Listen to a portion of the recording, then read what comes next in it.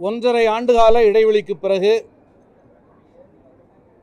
தமிழக சட்டப்பேரவையால் நிறைவேற்றப்பட்ட தீர்மானங்கள் மீது எந்த குறையும் காண முடியாத எதிரான எந்த குறிப்பையும் பதிவு செய்ய முடியாத தோல்வியை ஆளுநர் அவர்கள் ஒப்புக்கொண்டிருக்கிறார். ஒன்றரை ஆண்டுகளுக்கு பிறகு எவ்விதமான குறிப்பும் இல்லாமல் ஐ வித்தோல் அசன்ட் என்கிற குறிப்பின் மூலம் இதை அவர் திருப்பி அனுப்பியிருப்பது ஆளுநரின் தோல்வியை வெளிப்படுத்துகிறது. அரசமைப்பு சாசனம் we the people of India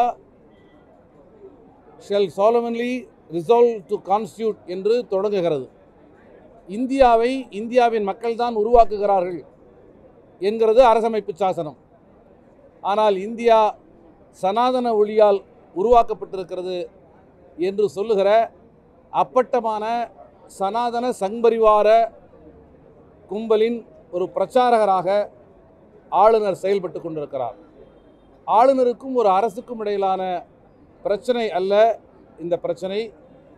இது அரசமைப்பு சாசனத்தை பாதுகாக்க விரும்புகிற ஜனநாயக சக்திகளுக்கும் அரசமைப்பு சாசனத்தை குழிதோண்டி புதைக்க விரும்புகிற சனாதன கும்பலுக்கும் இடையிலான யுத்தம் இப்படிப்பட்ட சூழலில் தமிழக அரசு கொண்டு வந்திருக்கிற இந்த தீர்மானங்களை மீண்டும் திருப்பி அனுப்புகிற தீர்மானத்தை உச்சநீதிமன்றம் கடுமையான தனது கருத்துக்களை பதிவு செய்திருக்கிற நம்பிக்கைக்குரிய சூழ்நிலையில் தமிழக அரசு கொண்டு வந்திருக்கிற இந்த தீர்மானத்தை ஆதரிக்க தவறியதன் மூலமாக அதிமுக தமிழக மக்களுக்கு துரோகம் இழைத்திருக்கிறது அம்மையார் ஜெயலலிதா பெயரிலான அந்த பல்கலைக்கழகத்திற்கு அவரது பெயரை சூட்டுவதற்கான அந்த மசோதாவிற்கு கூட ஆளுநர் இன்னும் ஒப்புதல் வழங்கப்படவில்லை என்கிற உண்மைகளை உண்மைகளை கூட கவனிக்காமல் மிக அவசரமாக பரபரப்பாக மாண்புமிகு எதிர்க்கட்சி தலைவர் அவர்கள் வெளியடைப்பு செய்திருப்பது என்பது கவலையை தருகிறது. ஆகவே பாஜக செல்லுகிற பாதையை பின்பற்றி அதிமுக செல்லக்கூடாது என்று தோழமையோடு விடுதலை சிறுத்தைகள் கட்சியின் சார்பில் சுட்டிக்காட்ட விரும்புகிறோம். பெட்ரோலில் எரிகிற நெருப்பு குண்டை எடுத்து வீசுகிற நெறி பிளர்ந்த குற்றவாளிகளை நம்மால் கைது செய்ய முடிகிறது. ஆனால் தமிழக மக்கள் மீது வெறுப்பு குண்டை தினந்தோறும் வீசி எறிந்து கொண்டிருக்கிற ஆளுநரை எப்பொழுது வெளியேற்றப் போகிறோம் என்பதுதான் நமது கேள்வியாக இருக்கிறது. அந்த அடிப்படையில் இன்று சட்டமன்றத்தில் கொண்டு வந்த அந்த தீர்மானத்தை ஆதரிக்கிற அதே சமயத்தில் மாநில அரசு தன்னுடைய சொந்த நிதியில் கட்டி எழுப்புகிற தானே சட்டம் இயற்றுகிற மாநில அரசால் இயற்றப்படுகிற சட்டத்தின் அடிப்படையில் தான் மாநில பல்கலைக்கழகங்களுக்கு துணைவேந்தர் வேந்தராக ஆளுநர் நியமிக்கப்படுகிறார் ஆளுநர் இருக்கிறார். அது மாநில அரசு உருவாக்கி இருக்கிற சட்டம்.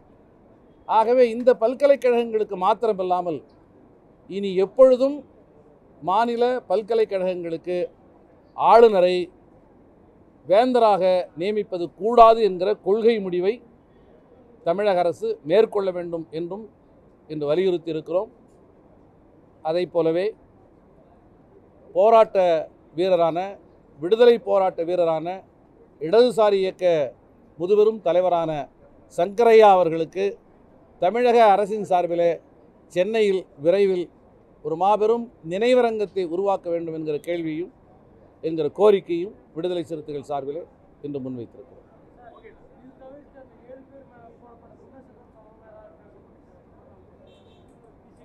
இல்லை இன்னைக்கு வந்து கொண்டு வந்திருப்பது ஒரு தனி தீர்மானம்.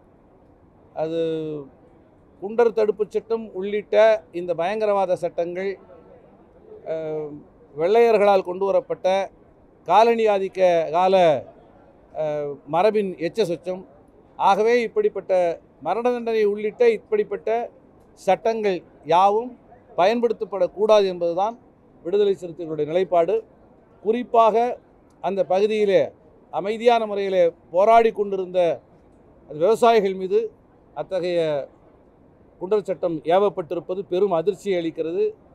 அது மீண்டும் மாண்புமிகு முதல்வர் அவர்களுடைய தலையிட்டால் திரும்ப பெற்றிருப்பது ஆறுதல் அளிக்கிறது. இத்தகைய போக்கு மிக கவனமாக நிதானமாக தமிழக அரசு இதை முன்னெடுத்து கொண்டு செல்ல வேண்டும். அதே போலவே உயர்கல்வி துறையில் மாண்புமிகு தமிழக முதல்வர் அவர்கள் வேந்தராக இருக்க வேண்டும் என விடுதலை சிறுத்தைகள் ஆதரவளிக்கிறோம் அதே சமயத்தில் உயர்கல்வி துறையில் இருக்கிற எஸ்சி எஸ்டிக்கான பின்னடைவு காலி பணியிடங்களை நிரப்புவதற்கு தமிழக அரசு உரிய முயற்சியை மேற்கொள்ள வேண்டும்.